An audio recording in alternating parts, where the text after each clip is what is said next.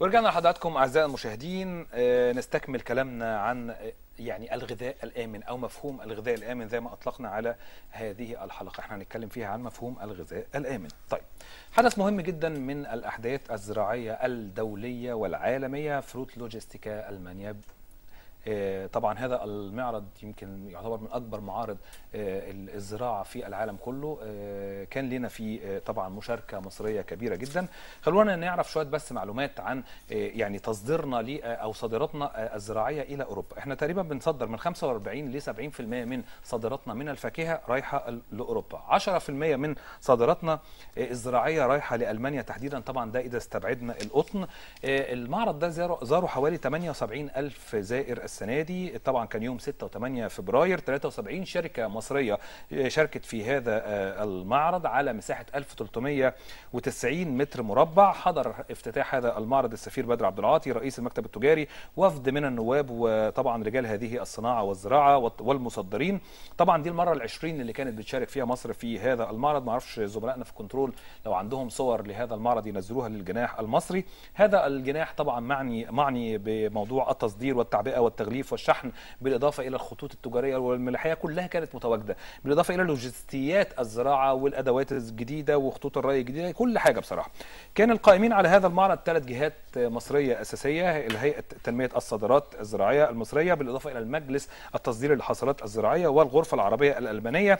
طبعا كان في بعض الأخطاء في السنة اللي فاتت لكن تلافوها بشكل كبير جدا وكل اللي اشتركوا في هذا المعرض أشاروا وأشادوا بالتنظيم ال- المحترم جدا. كان في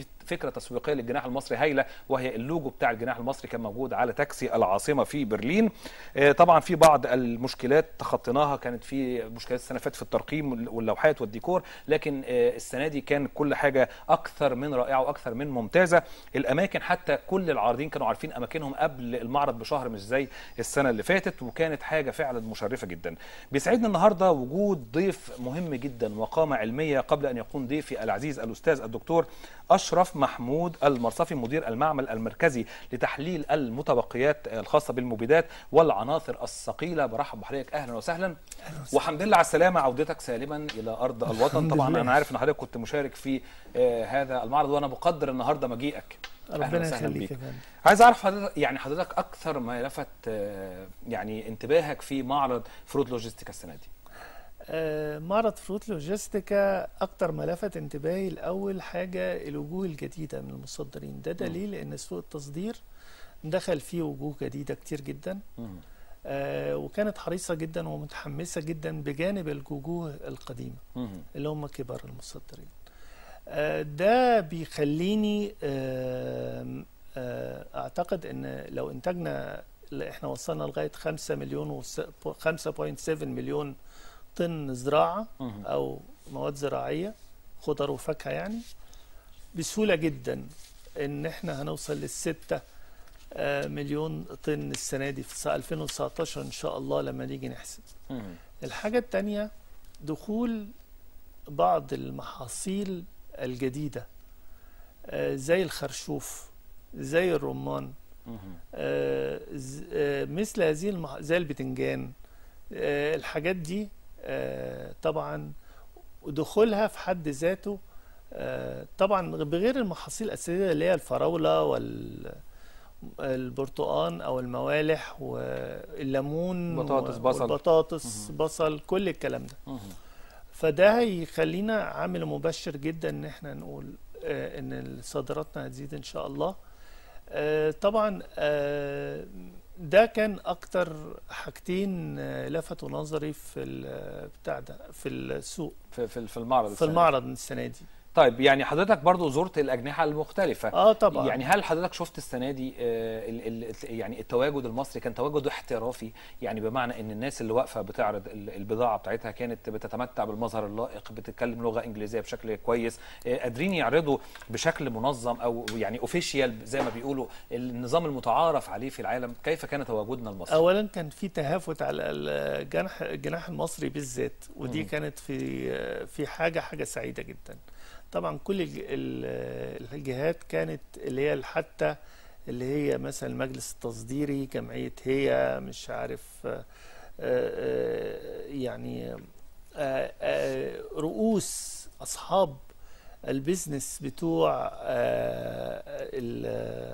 تصدير الخضار والفاكهه لأن هم كانوا يعني متحمسين جدا اولا وبيجيدوا استقراء السوق. فطبعا كان متوقع أو كان متوقع ال- التهافت على البضاعة المصرية نظرا لأن سعرها المعقول.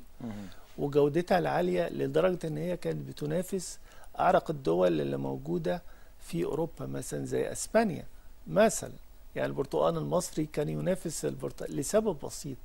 البرتقال المصري بتاعنا اولا بيتع... بيتمتع بعد عمليات اللي بيتم ممارستها عليه في المحطات بجودة المنتج زائد السكر نسبة السكر عالية فيه. مرتفعة صحيح. مرتفع مم. فيه. فبيفضلوا المستهلك. وده كان أساس مفهوم ال ال ال التهافت.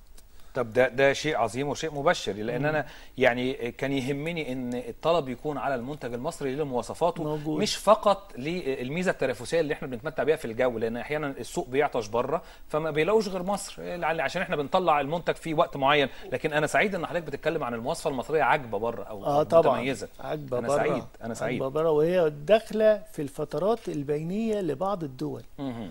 فبالتالي إحنا مرشحين وبقوة إن إحنا نحل مثلا محل جنوب أفريقيا في بالنسبة ل- لأفريقيا ككل. طبعا ده شيء عظيم وشيء هايل.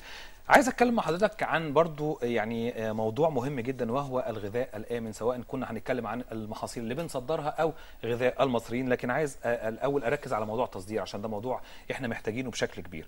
آه، أنا عندي إيمان طبعا إن ال- ال- الحاصلات المصرية هم ما عندهمش عواطف يعني ما ماليش دعوة بقى دي مصرية ومن بلد الفراعنة لا لا لا الراجل بيتكلم عن مواصفة أيوة. وبيتكلم عن أمان ف آه، إيه هي حضرتك يعني آه، ما يميز من آه، المحاصيل المصرية من معايير الأمان ال- الدولية؟ وخصوصا إن إحنا يعني مش عايزين نسمع ابدا إن إحنا عندنا محصول تم رفضه أو محصول تم منعه. هل عندنا هذه الثقافة دلوقتي؟ آه، طبعا بص حضرتك دلوقتي إحنا في جهات كتيرة غير المعمل المركزي في وزارة الزراعة بتراقب هذا الموضوع وبتحاول إن هي تدي أحسن حلول ليه. المعمل اولا آه، لا يأخذ عينات ولكن الحجر الزراعي هو اللي بيتم. آه، هو الذي يتم آه، سحب العينات بواسطته. وبعد كده المعمل بيستقبل العينة المقبول طبقا للستاندرد الأوروبي آه، أنا بعديه. آه، وطبعا مفيش شك إن في آه، مرفوض لكن مش بنسب آه، قليلة. طبعا إحنا بنراقب كل ما هو إلى يصدر. تقريبا. آه، يعني حضراتكم متابعين كل ما كل ما يصدر. كل ما يصدر. لكن في بعض المحاصيل آه، اللي تمت عليها بروسيسنج أو آم، اضافات أو شبه إضافة آه، ما بتجيناش. طبعا الحجر الزراعي هو الأداة بتاعتنا أو الإيد بتاعتنا اللي بيجيب لنا العينات. طبعا العينات بتدخل في وإحنا معمل معتمد الحمد لله من 20 سنة بنمارس متبقيات المبيدات وبنمارس تحليل متبقيات المبيدات وعناصر ثقيلة في في كل أنواع الغذاء وحتى الغذاء سواء الأصل النباتي أو الأصل الحيواني. بنمارس مثلا ال food additives والافلاتوكسينات على كل الحبوب وال وال nuts مثلا. بنمارس آه، ال microbiology على وال viruses على كل المنتجات المصرية الطازجة. بنمارس كل الدايوكسينات وال PCBs اللي هي ال organochlorines عموما. لكن جنب التحليل آه، في سياسات معينة بتعملها مثلا لجنة المبيدات. لجنة المبيدات السنة دي هتطلع كتاب التوصيات بال PHI أو ال post harvest interval دي فترة الأمان ما قبل. الأمة قبل الحصاد مم. عشان نقول للفلاح ده هو بقى الإرشاد الحقيقي أكيد وطبعا الكلام ده بيوزع على من أول التاجر لغاية المستهلك مهم. في الجمعيات الزراعية لغاية كافة المتعاملين مع المبيد ده بالإضافة إن إحنا قللنا جدا المبيدات اللي هي high risk زائد إن إحنا قللنا جدا المبيدات اللي تم التنويه عنها في آه الاتحاد الأوروبي مثلا إن هي endocrine disruptor لا فيها مشاكل دي بلاش فيها مشاكل بالظبط. طب عايز أرجع لنقطة مهمة بس كمان مش بس المبيدات لكن أحيانا بنتكلم عن بعض المخصبات اللي ممكن تعمل لنا مشاكل في التصدير وهي أنا بعتبرها متبقيات. هل هل, هل ده صح ولا غلط؟ بس مظبوط.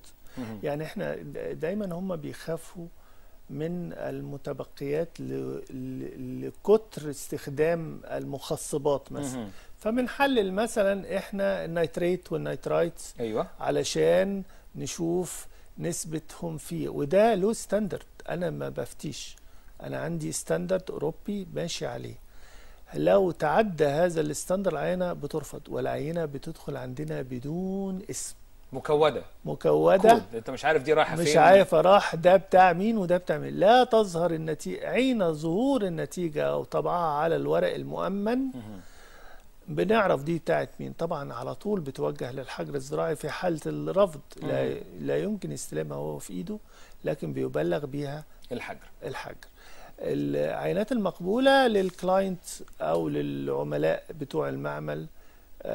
الحق في الحصول على الشهادة طيب. كويس جدا أنا عايز أتكلم عن نقطة يعني أنا يمكن في خبر آه، قريته في إحدى البرامج اللي بقدمها في قناة مصر الزراعية بيتكلم عن إن الوزارة ابتدت تاخد عينات من السوق المصري وتبتدي تحلل الغذاء بتاع المصريين في الأسواق المصرية باعتبار برضه المصريين لهم الحق في غذاء آمن فهل المعمل اللي حضرتك بتشرف بقيادته آه، طبعا معمل المتبقيات علاقة بهذا الموضوع آه؟ طبعا إحنا من مم. من أكتر من سنة آه بنعمل هذا العمل لل- للسوق المصري على مستوى السنة دي بقى 15 محافظة. ضفنا لهم سوهاج آه كل سنة بناخد هو عبارة عن 25 محصول لأكتر من 17 سوق مركزي. لأكتر من 16 أو 15 محافظة زراعية.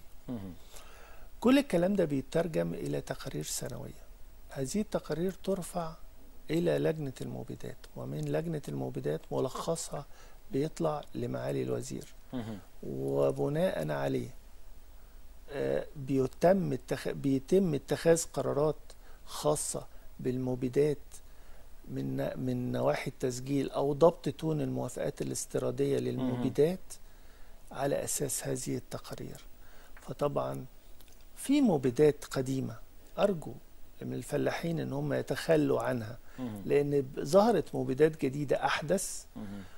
آه غالية شوية في السوق ولكن ال PHI بتاعها منخفض جدا تبقى أكثر أماناً أكيد على أكثر الصحة. امانا على الصحة وعليه هو نفسه آه، يعني هو فأنا نفسه. مش مم. بقول على مبيدات بعينها لكن بلاش المبيدات القديمة مم. لأن المبيدات القديمة فترة ال PHI بتاعتها طويلة. طويلة. وأحيانا فندم برضو بيكون مبيدات جديدة لكن بيحصل سوء استخدام. يعني الجرعة مثلا آه، تمام. 50 جرام على ال 100 لتر مية يحط خ- 200 جرام على ال 100 لتر مية بص. حضرتك إحنا ب... حتى بنعمل ال PHI قليل فبيتكسر. بعد يوم مش هيلاقيها. بالظبط.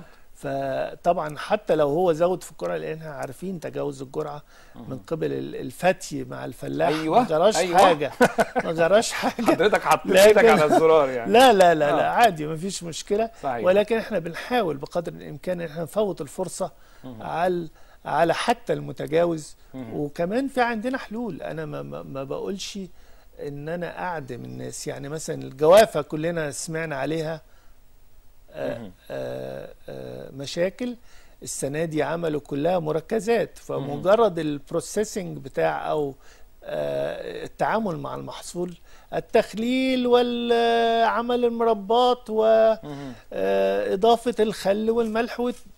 كل ده بيعمل لنا آه، الممارسات دي بتقلل طبعا متبقيات المبيدات. طبعا إحنا شايفين السوق المحلي كله.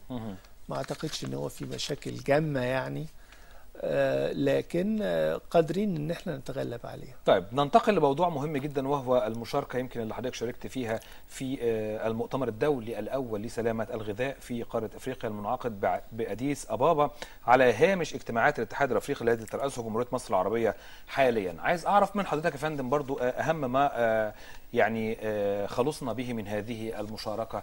وأنا يعني واثق إنها أكيد كانت مشاركة فعالة وحضراتكم كنتوا بتتكلموا فيها عن موضوع عن عدة محاور تمكين المستهلكين لاختيار الغذاء الصحي ودعم النظم الغذائية المستدامة محور عبء الأمراض المنقولة عن طريق الغذاء الغير الامن وفوائد الاستثمار في الغذاء بالإضافة إلى فوائد الاستثمار في الغذاء ومحور تنمية قطاع الثروة الحيوانية. عايز اتعرف من حضرتك على هذه المشاركة وهذه المحاور الثلاثة. بص حضرتك آه، هو طبعا آه، آه، في ظل استلام مصر رئاسة الاتحاد الأفريقي فمصر قادرة تماما إن هي تقود أفريقيا في هذا المجال. على كافة المستويات أنا مش عايز أقول لحضرتك على مستوى معين الزراعي بس. طبعا ده كان بعد تعليمات السيد الأستاذ الدكتور عز الدين أبو ستيت إن المشاركات الأفريقية إن إحنا نشارك في في أفريقيا ب على كافة المستويات طبعا الزراعية. ده ده خلاه آه، الوزارة تطلع قرارات وزارية ل آه، ليا والدكتور علي سليمان والدكتورة إيمان سالم والدكتور حتى شارك معانا الدكتور آه، حسين آه، منصور اللي هو رئيس هيئة سلامة الغذاء.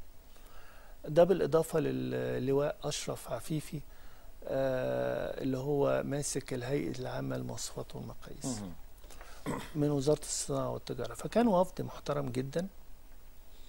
آه، وده كان على هامش المؤتمر ده كان على هامش استلام آه، مصر مصر للاتحاد الأفريقي. للاتحاد الأفريقي.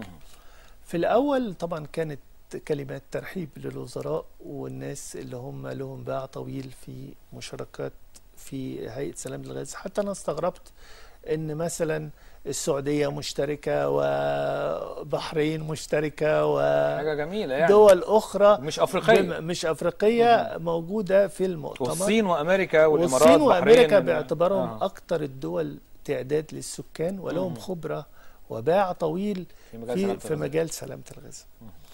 فكان آه، فرصة طيبة جدا أول حاجة لتبادل الخبرات وكمان آه، آه، إحنا كان علينا حاتق آه، كبير جدا إن إحنا قلنا لهم إن كافة التدريبات لأن إحنا فزنا كوزارة زراعه معمل مركزي لتحليل متبقيات المبيدات إحنا ومعهد صحه الحيوان كلهم في تخصصه بتخصصاتنا كلها إن إحنا. ندرب الأفارقة إزاي يضبطوا كمان آه، المعامل بتاعتهم سواء عن طريق آه، العينات اللي إحنا بنرسلها نرسلها لهم. مقارنات بين المعامل بتاعتنا ومعامل أو سواء استخدام فرق أفريقية من كافة الدول الأفريقية تيجي علشان تتدرب في المعامل بتاعتك تيجي تتدرب في المعامل هايل. وده طبعا كان يعني آه، إحنا كان في ترحيب شديد بمصر وكانت لها طبعا كلمة إحنا فضلنا ان هو يقولها الدكتور حسين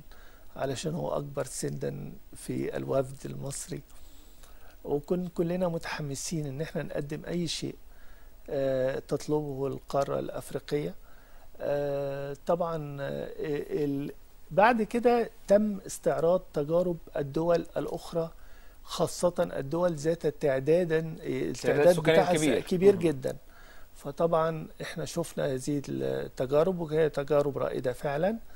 وطبعا هو قالوا إن إحنا ده مجرد مؤتمر أولاني للتعارف والتبادل الخبرات. وهنبعت لكم شوية وفود آه، من بعض الدول التي تطلب في عندنا تنزانيا وانجولا. والحتت الحتت اللي فيها تبادل تجاري مع مصر. قلنا لهم مفيش مشكلة أي وقت. نظموها. طبعا الاتحاد الأفريقي يتحمل آه، مصاريف انتقال والاقامه بمصر. إحنا هنتحمل التدريب بأسعار مخفضة وده نوع طبعاً، من الدعم. آه، ده هايل جدا وده لا يعني فقط إن إحنا آه، بنقوم بالريادة ولكن فكره تامين الدول اللي جنبنا آه أو طبعاً. يبقى عندهم ثقافة ده بعد آه، أمن آه، غذائي لينا لأن بالظبط. طول ما الدول دي الثروة الحيوانية سليمة فيها أنا مش هتتنقل لي أمراض طول ما الدولة الدول دي عندها ثقافة كويسة أنا لا هصدر لهم أمراض ولا هجيب من عندهم أمراض وهنبقى كلنا نقدر نتبادل الغذاء بشكل آمن لا هو في ثلاث محاور أساسية ت- تناول تناولها المؤتمر مم. أول حاجة تثقيف المستهلكين وعمليات الشفافية بين الحكومات والمستهلكين للغذاء. بطبيعة الحال في معلومات بتكتب على الغذاء وهذه المعلومات لازم تكون صحيحة ولازم مم. يكون الغذاء مؤمن تأمين كامل. وكمان هم خايفين من ال microbiology أكتر من أي نوع من الأنواع التلوث الكيميائي. وفعلا ال microbiology واخد أهمية عندنا في المعمل كبيرة وإحنا بنلبي كل الطلبات. وجانا وفود من الاتحاد الأوروبي عليها والحمد لله جاوبنا كل الإجابة معظم الإجابات وإحنا في إطار اجابه على أي سؤال تالت حاجة كانوا بيشجعوا الاستثمار. في الغذاء بقى الآمن ده لأن الغذاء الآمن ده هيوفر الأموال ل آه، آه، وهيكافح الفقر بالنسبة مثلا للدول التي تعتمد وكان بتعتمد على تصدير الغذاء فطبعا ال packaging كان مهم جدا. ال ال عدم تعرض الغذاء لأي نوع من أنواع البكتيريا أو ال microbes أو ال viruses اللي هي قد تعوق هذه التجارة. زائد تشجيع إن إحنا نستثمر في هذه التجارة ده في حد ذاته عودة مصر مرة أخرى أعتقد أن ده أكبر مكسب بهذا التمثيل المشرف وبهذه المعلومات القيمة اللي حضرتك بتقولها وبهذا التبادل في الخبرات بيننا وبين أفريقيا. عودة مصر شيء جميل. آه هي حاجة مصر- تفرق حاجة مصر- تفرق حاجة هي تفرق قادرة تماما. قوة جناحنا في Logist في Fruit Logistica آه، هذا التواجد في آه، إثيوبيا آه، وجود مثل هذا المعمل ووجود مثل هذه القامات العلمية ال- ال- المحترمة زي حضرتك وزي كل. العاملين معاك ده شيء. بيشرف كل مصري وهم. دول ولاد البلد سعدت جدا بوجودي مع حضرتك سعدت جدا بكل الكلام اللي انت قلته أنا شخصيا استفدت منه أتمنى إن. كل الناس كمان يكونوا استفادوا منه أتمنى إن هذه الثقافة بتاعت الغذاء الآمن تتوفر لدى مزارعينا ومستهلكينا و و و ومصدرينا ومستوردينا كمان. عشان. يجيبوا لنا غذاء آمن. إن شاء الله. بشكرك شكرا جزيلا. نورتنا طيبة أستاذ. دكتور. أشرف محمود المصطفي شكرا. آه، دكتور أشرف محمود المصطفي نورنا في هذه الفقرة وهو مدير المعمل المركزي لتحليل المتبقيات الزراعية والمعادن الثقيلة. نورنا في هذه الفقرة. هنطلع فاصل ونرجع برضو نستكمل كلامنا عن الغذاء الآمن وعن المخصبات الآمنة والطبيعية. ولكن في تقرير الأول عن موضوع حب الرشاد. خلينا نشوف هذا التقرير ونرجع لكم مرة تانية تابعونا